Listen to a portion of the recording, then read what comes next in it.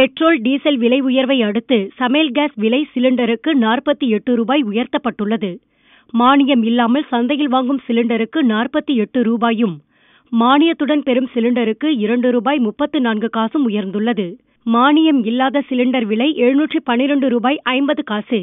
மானியத்துடன் பெறும் சிலிண்டர் விலை நானூற்று எண்பத்தி ஓரு ரூபாய் எண்பத்து நான்கு காசு. இது சென்னை விலை.